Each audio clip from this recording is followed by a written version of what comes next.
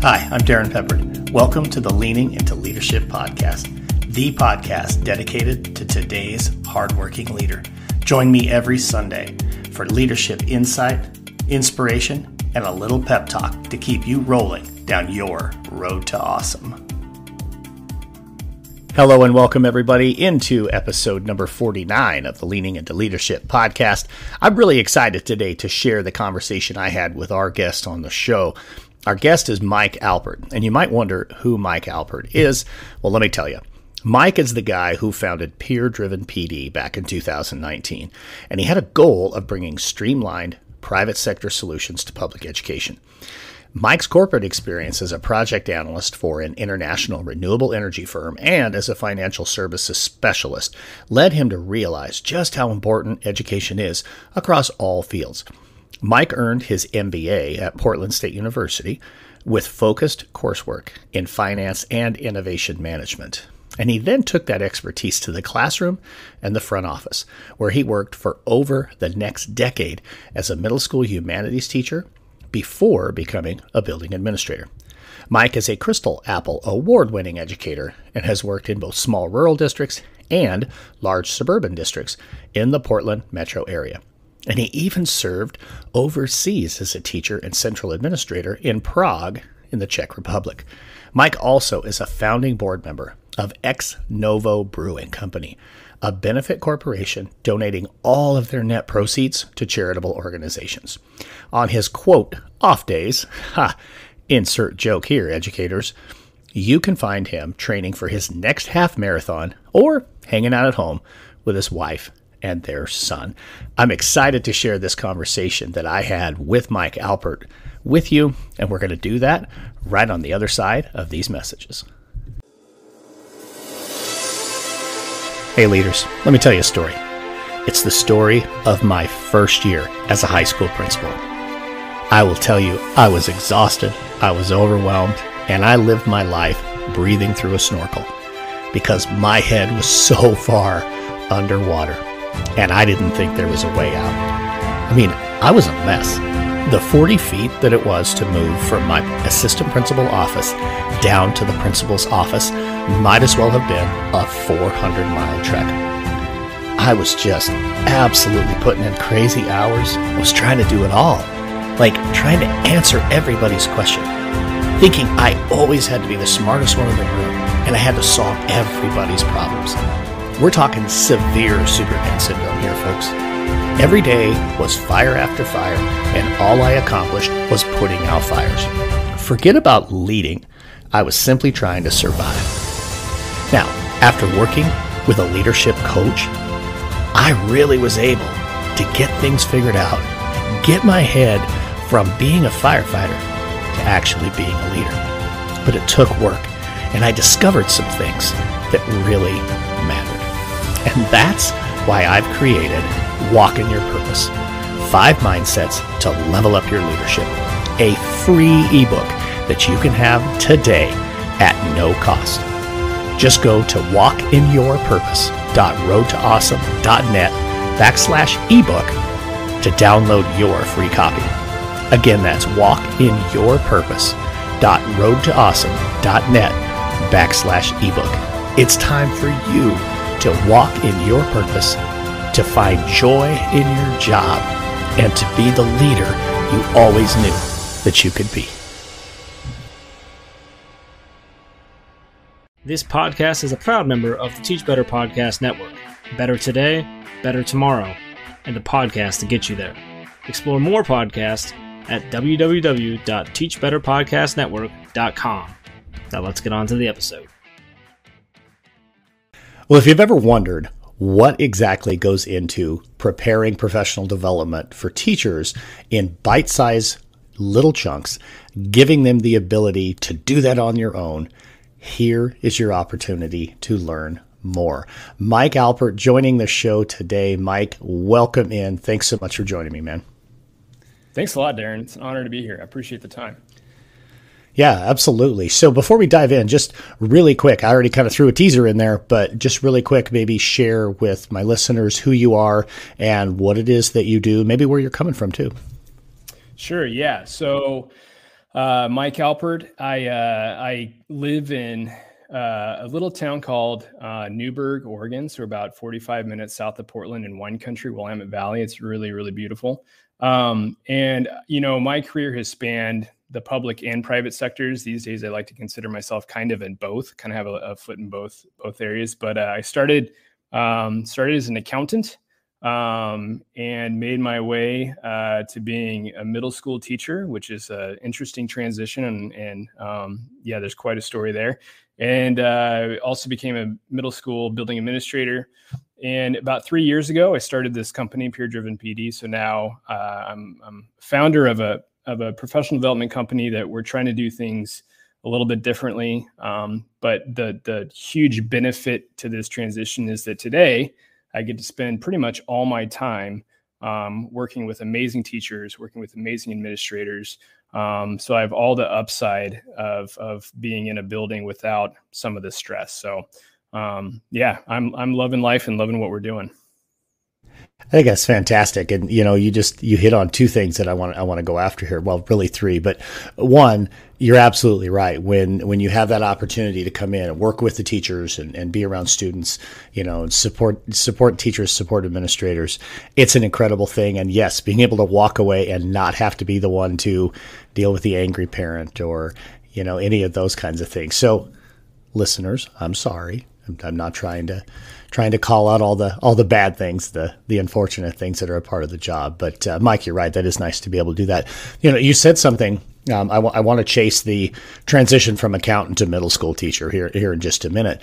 But uh, for those who don't know, I typically will pre-meet with my guests, you know, for 20, 30 minutes just to get to know them and then schedule another time for the recording, which is something, Mike, that you and I did. But when we did that, you didn't mention that you were in Newberg, Oregon. I don't know how I missed that piece, but one of my good friends is one of the assistant principals at Newberg High School, a guy named Mark Brown. I don't know if you know Mark, but uh, Mark is an incredible guy. So shout out to Newberg, Oregon. Yeah, Mark. I think Mark lives about 300 yards from my house. So um, no way. Yeah, so I, I live right at the corner from Mark. Shout out to Mark. Um, I see him walking the dog all the time, and uh, yeah, we worked together in Newberg. I was a teacher in Newberg um, for seven years before becoming an, an, administrator in a much larger district, Beaverton. But uh, yeah, I know Mark well. Good guy. Great, great administrator. Great, great guy. Yeah, that's pretty amazing. That's wonderful. So I'll actually have to send a I'll send a copy of our selfie that we just took to Mark and let him know that uh, you're going to be on the show here, not too far down the road. So that's awesome. So uh, let's talk a little bit then about that transition. I mean, how does somebody go from being an accountant to being a middle school teacher? I mean, honestly, you ask most middle school teachers, how'd you become a middle school teacher? And they're like, man, I don't know. But here I am. I mean, there's some who are like, oh my God, I just really want to work with middle school kids. I, I taught middle school for five years. I, I, loved it. But from accountant to middle school teacher, let's let's yeah. hear a little bit more there, Mike. It's a it's a yeah a, a, circuitous route for sure. And I was not the type that just was overly excited about working with middle schoolers just because I had no experience with them and I didn't realize how amazing they are. But uh, so you know, I, I, was an English major at Texas A&M. Grew up in Texas, um, and wanted to travel right after undergrad. So I took a job teaching English as a foreign language in the Czech Republic. So I got to live in Prague for a year, which was amazing, and, and get to travel around Central Europe. Um, came back and I loved it. I had a great experience. I was teaching high schoolers, uh, like Czech high schoolers, and uh, moved back to the states. Didn't want to be in Texas, so I migrated to the Pacific Northwest and my plan was to save up some money to go to grad school and get my teaching license to become a teacher. Um, to do that, though, I took an entry level job at a credit union. It was the employee credit union of Intel and Microsoft and Nike, some big employers in this area. And, you know, as happens, a year or two turned into four or five, and the company was willing to help me um, go to grad school if I studied business. So uh, I decided to take him up on that and got my MBA at Portland State University and um, kind of got deeper into the uh, accounting field and, and, focused on finance and innovation management and business school and uh, and transitioned to working for a, a huge uh, energy firm, the fourth largest uh, energy utility in the world, actually, um, based in Spain and and that was a good experience too. I really enjoyed it. Um, huge amount of work, uh, you know, long hours and, and um, some travel and uh, which is all fun when you're in your 20s, but you do that for a long enough time and you start to get a little bit burnt out. And I was getting closer and closer to 30, and I just felt like, you know, I just don't want to spend my life in a spreadsheet. The, the itch to be in the classroom had never really left. So I decided to go back to grad school again. And this was crazy. There was a six month period, I think, where I was working full time. I was a full time project manager, um, which is not a 40 hour a week job um, I was co-enrolled in finishing my my business degree, um, and then had just started my master's in teaching. So at two different universities. So I go to work all day, and you know Tuesday night I'd go to a corporate finance class or a strategy class. Wednesday night I'd be at a different university taking like early childhood development, um, and then go back to my job the next day and, and do it all over again. So um, it was a crazy time, but just an amazing transition. I, I got done with both degrees. I uh, got a job in Newberg um, teaching middle school. And I always envisioned myself being a high school teacher, but it was 2010. It was during the recession. Um, it was the job that was available near me. And I thought, okay, I'll, I'll give sixth graders a try. So it was sixth grade. And I always thought I'd be like a, a, a high school literature teacher. And I had no idea what I was getting into. Um, but I I still look back those seven years as a middle school teacher. I think it's the best job I've ever had. It was the most fun I've ever had in my life. Um, just because you're at this age where you know enthusiasm is contagious, and if you're excited about something, kids get excited about it, and just being able to build relationships with kids and uh, focus on on things that I love, like teaching English and teaching history. Um, I still to this day have have thoughts you know where the stress of running a company and different things i think man i would love to go back in the classroom. Not that there's not stress there there's an enormous amount of stress in the classroom but there's just such a direct connection to kids.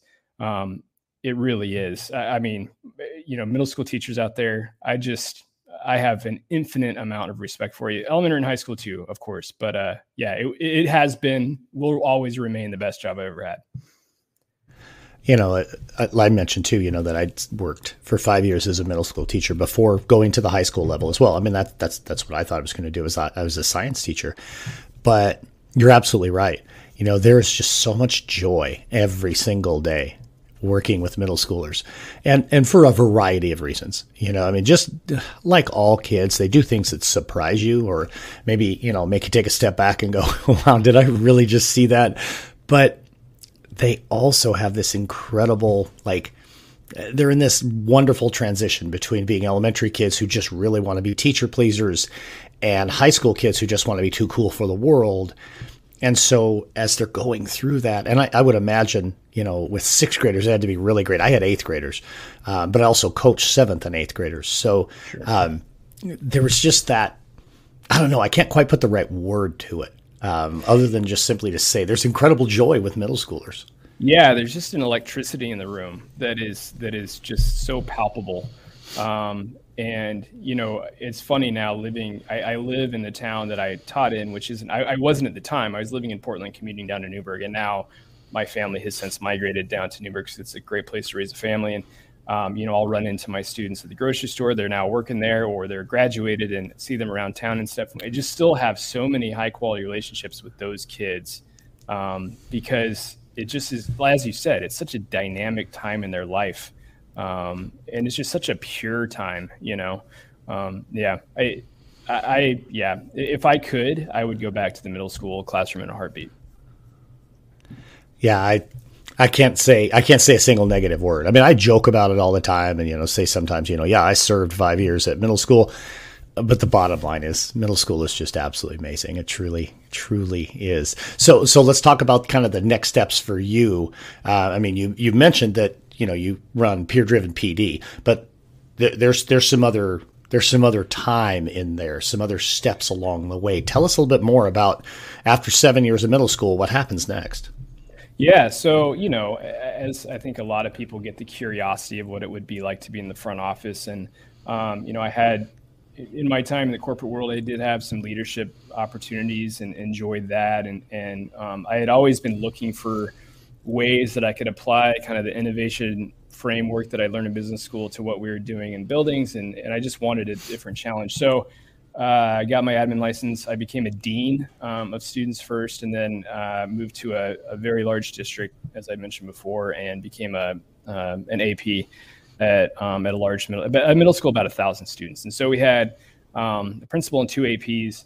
I was there for a few years. I really loved it. It was you know I didn't love it as much as teaching, if I'm being honest. Like I, I mm-hmm. loved mm-hmm. um, the management side of things, but you just, you just, I mean, as you, as a lot of folks listening to this know, you just deal with a whole different category of stressors in that job. Um, but I wasn't looking to transition out of it. I, it was my third year there, I think, and in February of that year, my boss came to me um, in tears, and it was it was the night of conferences, and I was managing parent teacher conferences and uh, she closed the door to my office, and I thought she was going to give me some really horrible news about some health diagnosis or something like that. And she just said, um, the district is eliminating your position for next year. So we were in a huge budget crisis. We'd had a couple things happen that uh, we were, had like a $15 million shortfall. And we were blessed to have two APs. And because I was newer to the district, I was the lowest administrator on the totem pole seniority wise. And she said, you know, uh, I'm sure they'll find a position for you by May. Someone will retire or something. But as of right now, you know, we don't get to have you back in this building. And I was heartbroken because I really loved, you know, I'd built some really good relationships, worked with some amazing teachers, knew the students well. It was a great experience. Um, so I went home that night to my pregnant wife, um, and my mother-in-law was staying with us too. So I walk in the door an hour early from conferences. My wife isn't expecting me until much later. And, you know, they're both like, what are you doing home? And I said, well, I kind of just lost my job for next year. And, um, you know, you would think like God has blessed me with an amazing uh, risk taking wife who is brilliant. Um, you would think that there would be a lot of uh, concern and, and trepidation. They both cheered. They both were so excited because I had been talking, you know, behind the scenes for years about all of these ways that I felt like we could uh, streamline things in education, how the private sector could help the public sector. Was a big passion of mine that I thought I would do 20 or 30 years from now. And my wife said, You're never home. You know, you're gone all the time in evenings. Um, she was pregnant with our first child. She was like, My biggest fear has been that you're just not going to be around. Um, and she said, this could be a blessing in disguise. And my my mother-in-law, who my wife's parents are both very successful entrepreneurs, they built a, a, large company in the 70s and, and are still involved with it. They said, We'll back you. Like, I think you should try something new. And so sure enough, the district did right by me and they had a job for me. They had a couple positions they offered me in May. And I politely said, I love you guys, but I'm gonna go do something else. I'm gonna try this thing. I have to give it a shot. So that's how I transitioned out of the building unexpectedly. It was not my plan that early in my career as a building leader, um, but it's it's been great because I still get to work with teachers and administrators all the time. As I said before, it's just a different it's just a different dynamic, and I love it so much. You know, it's interesting. You know, you hear all the time that you know good things happen slowly over time, and great things happen so quickly. And I, I, just I love that story because you know I've I've talked with so many people who have transitioned, uh, whether it's from education or something else, into into the entrepreneurial field, like you and and, and like myself, and yeah, you just kind of reach those moments where you're like, well, I could do this, but what if I do this? And I, I love how how your wife was like, yes, this is your opportunity, uh, some parallel a little bit with with my story. You know, I'm getting ready to leave my superintendency and thinking, well, let's see, you know, do I want to go do this? Do I want to do this? I just know I can't keep doing that. And my wife's like, no, wait a minute. wait a minute. You've had this dream to do this. Here's your chance. You gotta go. So your wife says you got to go do this. You got somebody, you know, you got you got family on her side saying, "Hey, we'll back you on this." Where do you go from there? How, how did you figure out how, how to take those first steps and, and what were those first steps? Yeah, that's a great question. Um, and this was right before. Well, first of all, shout out to partners and spouses that know us better than ourselves. I'm, I'm a big fan Boy, of no marrying, marrying way out of my league. My wife is is so much smarter than me and gifted in talent. She's also an accountant. Um, so yeah, the transition uh, was uh, you know, there's a little bit of of trying to having to figure out what was going on and, and what the landscape needed. So I, you know, having the background that I did in in business school, um, and I I had done a startup with some friends that still it's a great company. It's still going. It's a it's a big brewery here in the Northwest, and so I'd had experience starting something. Um, and the first thing you do is do a lot of research, do a lot of asking questions, asking what people need. And I think the thing that we identified was that um, you know 86%. We did this some independent research. 86% of teachers and administrators agree that the optimal classroom, the optimal professional development comes from full time classroom teachers. So of course there's room for um, for specialists. You know, I, I, don't necessarily say that the best um, you know trauma informed stuff is going to come from a classroom teacher all the time. There's there's specialists and professors and and consultants out there to do amazing work in specialized areas, but usually there's a logistical issue that prevents us from having full-time classroom teachers offer a lot of our professional development and that logistical issue of course is they're too busy teaching right so they're preparing for um, for their own classes. Uh, they don't necessarily want to uh, spend a lot of their time prepping to teach their colleagues, and certainly during the summertime, they need a break and that sort of thing. So, you know, I just started thinking, how can we, from an innovation management perspective, kind of look at this in a problem-solving sort of way? One of the things they teach in business school is like your success highly depends on your ability to solve problems for people almost exclusively. So, how can we solve that problem? That became a huge question of mine. And so, in the end, we decided to do kind of like a master class for teachers, if people are familiar with that. So we go out and we film um, the best teachers that we can find. We kind of do a mini documentary and uh, get them on video sharing all of their tips and strategies of what works for them in the classroom every day. And we produce that into online courses that uh, we license to school districts um, that other teachers can take uh, and, and get PD credit for. So so that was that's where it started was that problem scenario right? It's like what's needed out there? I talked to a lot of my administrator friends and they're just saying you know i would love an easier pd solution. I spend so much of my time thinking about pd and i don't necessarily have the budget to hire consultants to come in all the time. I need a, a more cost conscious uh, solution that teachers actually love because i think you know you and i both probably have had experiences where uh, as building leaders where you have some professional development that teachers are less than enthused about. So the fact that they see themselves oh, yeah. in that product is really, really important to us. Yeah, well, I think on top of that too, being able to to create those exemplars of other teachers actually practicing in the classroom as opposed to just simply having that person in front of you. I mean, it, it, the the face to face conversation. Obviously, we we learned a ton about this here over the last couple of years. You can't replace the face to face conversation, but being able to, you know, learn from practicing classroom teachers, I'm sure has got to be so valuable. What was some of the feedback that you heard?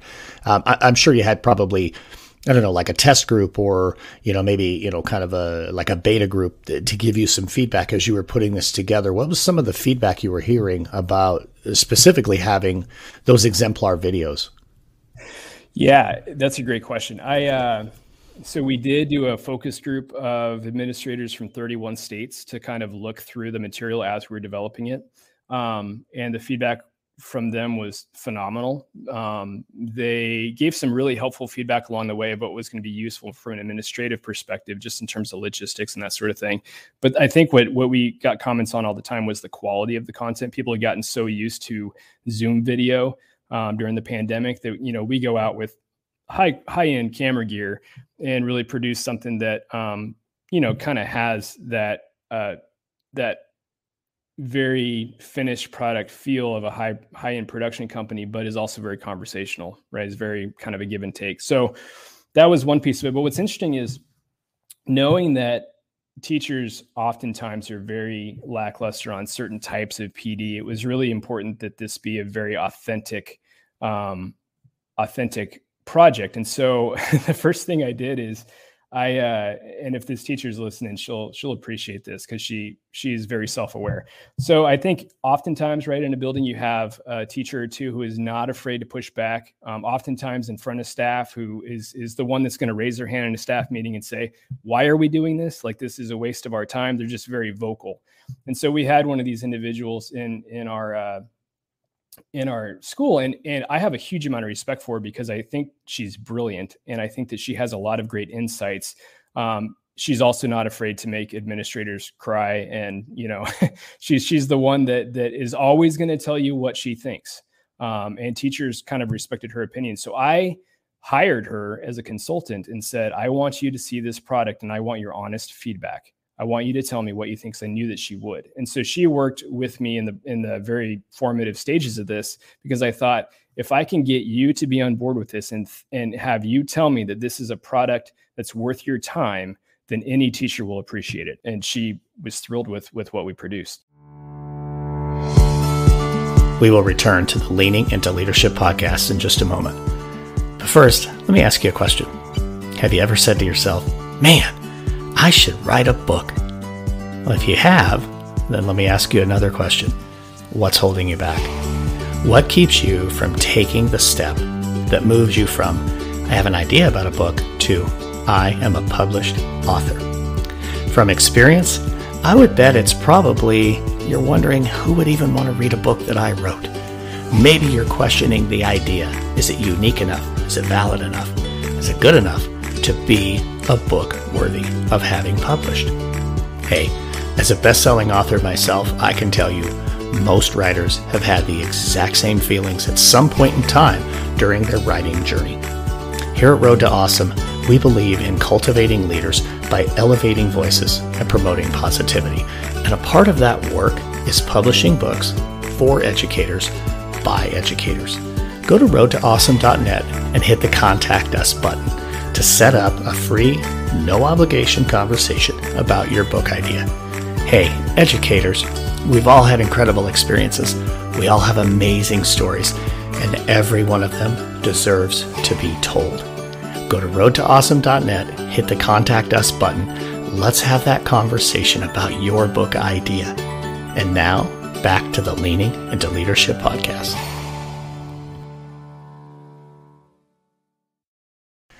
That's really powerful. You know, it's making me think back to you know those couple of teachers um, as as a building leader, and then actually uh, as a as a district level leader too. Those those two or three teachers that you have who are exactly who you just described, and you know, it's it feels like that's there's that constant. I got to do everything I can to you know to earn their approval or to make sure that they're on board with what I want to do. But boy, when you hear that feedback from them, that that had to be it had to be like probably the most rewarding piece up to that point to know, hey, if she's buying this, people are going to believe believe in this product. What what has the initial um, reaction been to to having that product out there?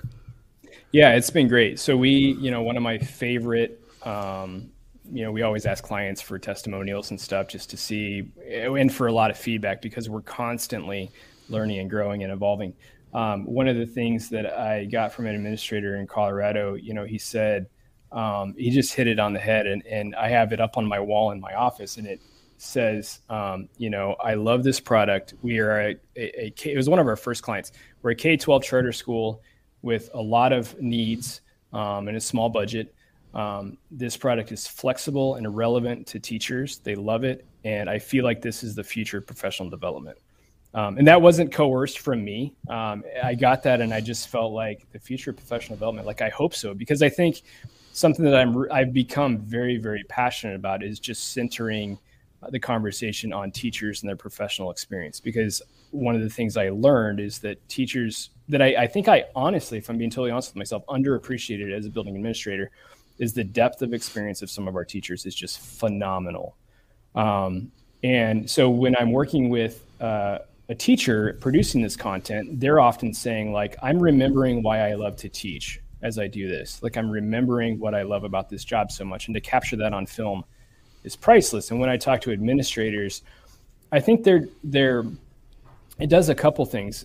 They're relieved to have a product that that they're not shy about putting in front of their um, teachers and uh, you know, oftentimes what we do these days is we go out and we help school districts to produce content featuring their own teachers. So we'll go to a district, we'll work with them, we'll help identify some really good teachers that they kind of want to clone in their district, um, and then uh, capture that on camera and provide that to them as professional development.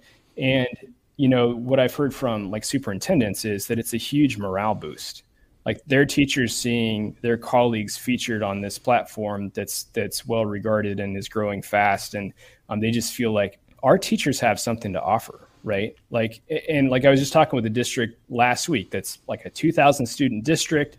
They're on the smaller side, and they were so excited to have the conversation about potentially being featured on here because, again, amazing teachers live in every single corner of the country, um, in every size district, and and just having the ability to pull out um, you know the the the real tangible um, gold that's inside of some of your teachers um, there's just nothing better than that. Like i just walk away from those interactions those those film days and stuff like that just feeling like this was again um, for the 20th 30th time like one of the best days i've ever had working with educators that's incredible i mean what what an incredible way to both intentionally and unintentionally for for school and district leaders to just continue to build that culture, uh, build that you know that that culture of excellence, if you will, by lifting up some of the individuals right there within their building, within their district. I think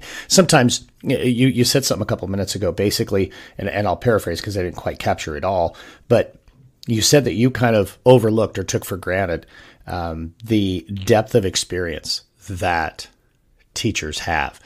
And I wasn't able to capture the whole thing because it, it forced me to stop and just think. Because I think, I don't think, I know I did the exact same thing. You know, so many incredibly gifted teachers that I've had the opportunity to teach next, you know, teach alongside, to, you know, work with as a building principal and to work with as a superintendent. Oftentimes, I think when we're putting together professional development plans, where we fall short, and this is why this is so important. This t- this type of professional development is so important.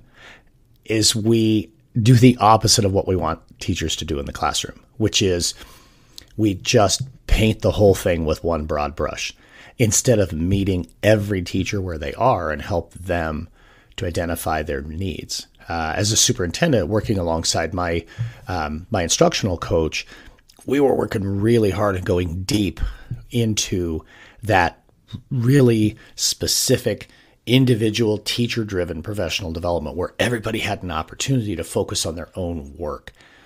Talk to me and, and really talk to our, our listeners around how does a district sit down with you and say, all right, here's where we are, here's where we want to go.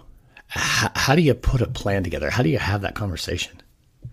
Yeah, no, again, a great question. Um, so, you know, what I, the way that we have always done it, and it can look different depending on the district's needs. So, a lot of times we go into a district and they say, you know, I talked with someone last week again who was saying, we really want to focus on, um, you know, work like clearly linking things to standards. And so we can, we can have that conversation. We can identify a teacher if they have a topic they want to address, we can say, okay, well, let's, let's talk about, um, what teachers in your district are doing that really well. And usually I'm talking to a superintendent and I'll say, I want to have a 10 minute conversation with a couple of your principals and help articulate, you know, what we're looking for because they're the ones that are in the classroom seeing what's going right. on, right? And so that's one way that we can identify an individual. Um, one of the ways that I really like doing it, and I think that we've had the most success, is that um, you know I'll, I'll, talk to an administrator, building administrator, or a district or a um, district administrator, and say, all right, so who is that teacher, um, those three or four teachers that you would just love to clone, right? That if you could yeah. um, have 15 of them, you know, you would just love it. And I go and meet with that teacher and I say, what are you passionate about? What is the topic that you read about on your own time? Um, what is something that uh, you are learning a lot about currently and are really growing in? And I have found that some of the best PD comes from teachers talking about things that they're very passionate about. Like there's no way uh, to, to match the quality of, of um, learning that comes from that because I mean, it's just like with students, right? Like you have to entice them with um, some motivation, something that they're naturally interested in. And it just, you can't fabricate that motivation anywhere right? It's just so innate. And so a lot of what we do is identify those teachers that are amazing and then talk to them about what they're passionate about. The real challenging thing and the real fun thing is a lot of times teachers that are that good, they don't always know um, what they're doing is so special, or they don't always know how to articulate uh, kind of what their secret sauce is, so to speak. So a lot of times it's me observing them and then I'll come and, and ask them about a million questions. You know, I've done this a lot. And so me or someone from my team will come in and, and sit down with them and um, really hash through like the, the technical details of a lesson or the technical details of a, of a, of a piece of teaching.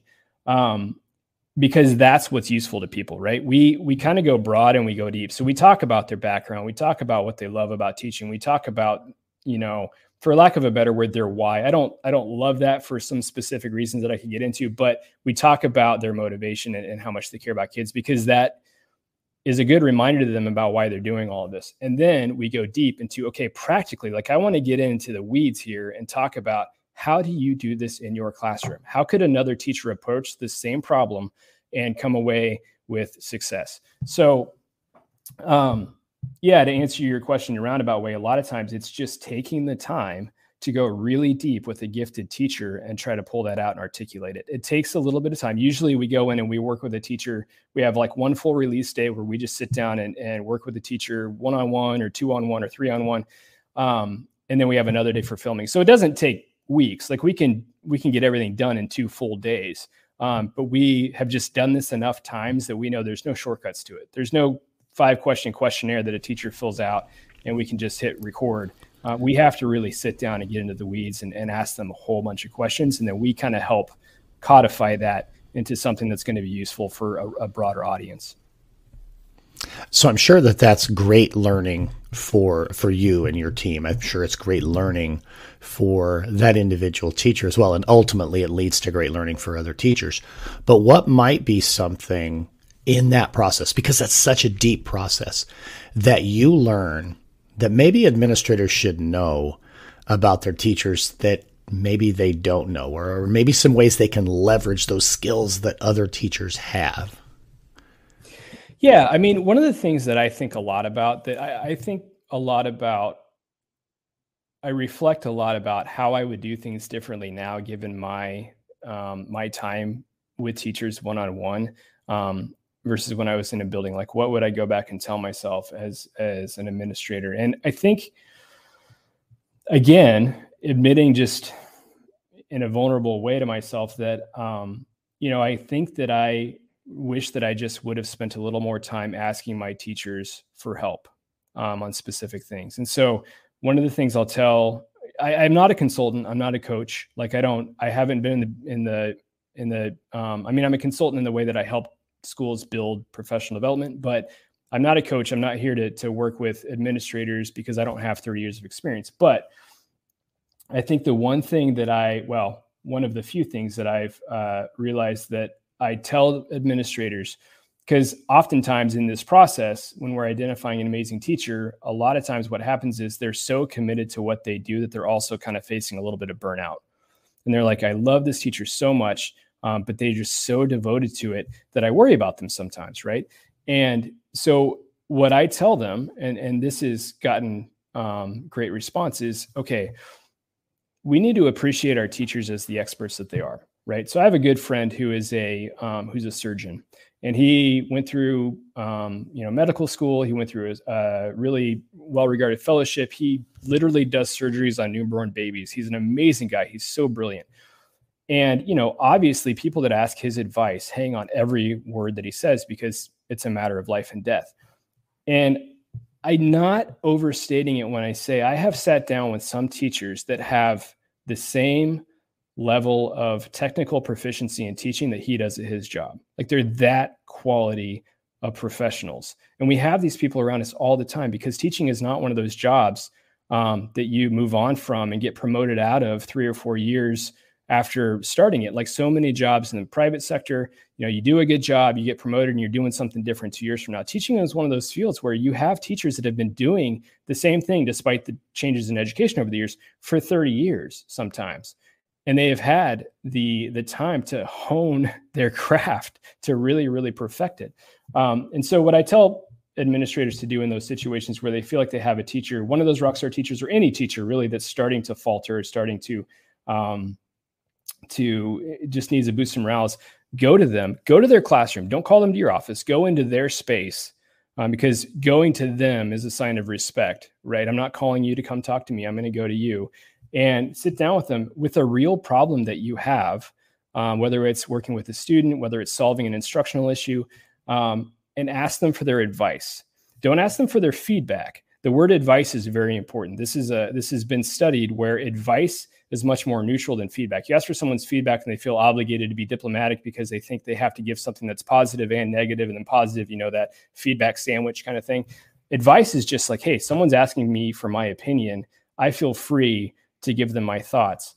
Um, and then use that, take their advice if you can to help solve that problem. There is nothing that's more validating or that's more of um, a mood boost professionally than helping someone to solve a problem. I'm sure that you've experienced that um, with your with the work that you do with administrators. Um, oh, when yeah. you're able to help someone solve a problem, you just feel like I am doing what I was meant to do. And teachers are doing that all the time with students, but they often don't feel that recognition from administrators. Even though I think we have a great administrators who appreciate their teachers, I'm not saying anything other than that. But I wish I would have slowed down enough to move beyond just the "How you doing today, Mrs. Jennings? How was your weekend?" To really sitting down with someone and say, I have this issue and I and I feel like you might have a part of the answer because you're really good at what you do. And I, I want to will you help me? Can you give me some advice on this? It's a game changer. It really is. Uh, super powerful is what it is. Uh, again, I, I, love this conversation, Mike, because each time you're talking, I, I'm finding myself reflecting on different moments over the course of my leadership career you know, where either I did something similar to that or, oh, man, that would have been a really, really good way to handle a particular situation. Just some absolute gold nuggets of leadership advice uh, right there. I really appreciate that so much. So, Mike, let's go ahead. We're gonna we're gonna transition into, I guess, basically our last two questions. Um, so uh, here on leaning into leadership, I ask everybody the same final question, which is, how are you leaning into leadership? So, Mike, how are you leaning into leadership right now?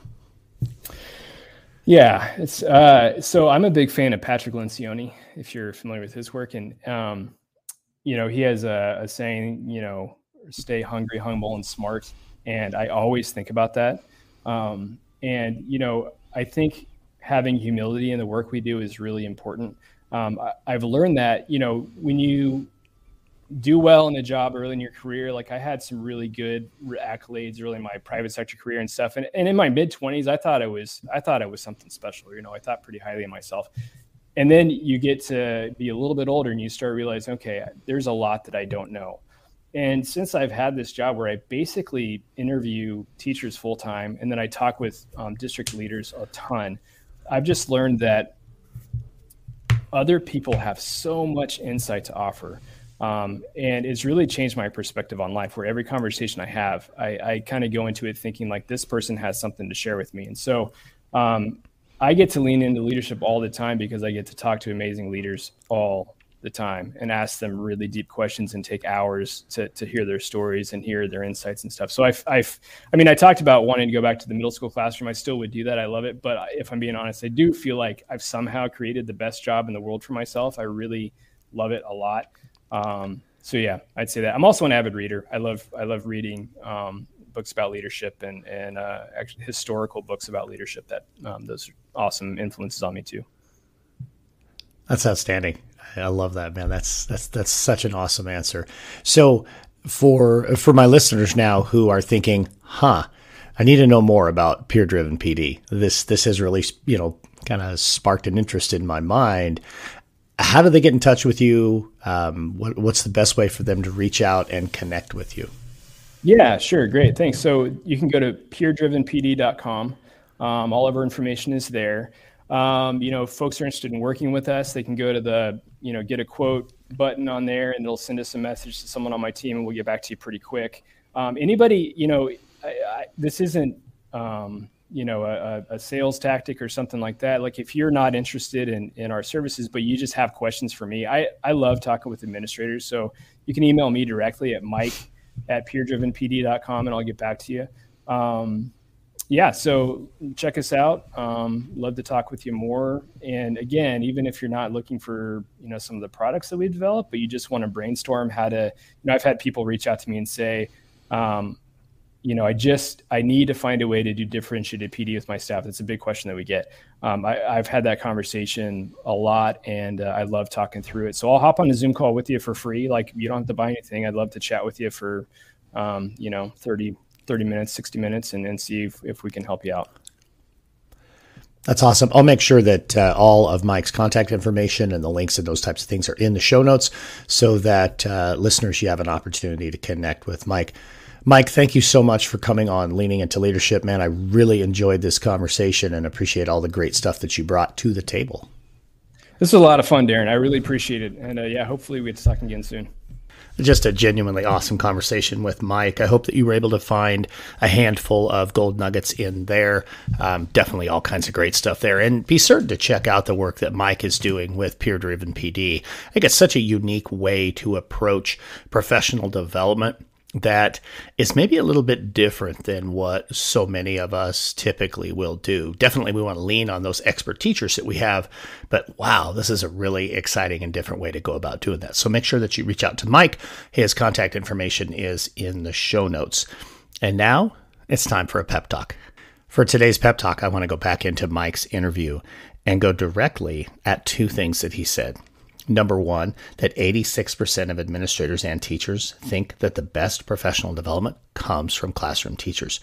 And the second element was when he talked about as a school leader, he felt like he overlooked or took for granted the depth of teacher expertise that he had in his building.